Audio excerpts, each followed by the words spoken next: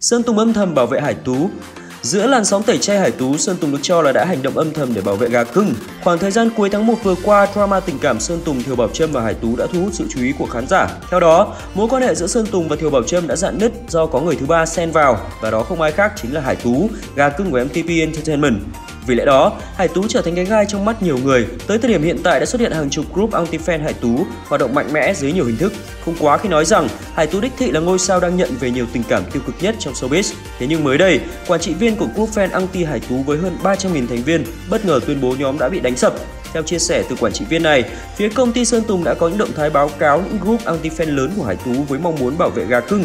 Tuy nhiên, anti-fan không dễ dàng chịu thua khi liên tục lập ra những group dự phòng, tránh trường hợp bị bịt đường hoạt động. Từ thời điểm vụ lùm xùm xảy ra, Hải Tú gần như bật vô âm tín trên mạng xã hội. Trong khi đó, Sơn Tùng vẫn thản nhiên tham gia các hoạt động cũng như dự án nghệ thuật mới.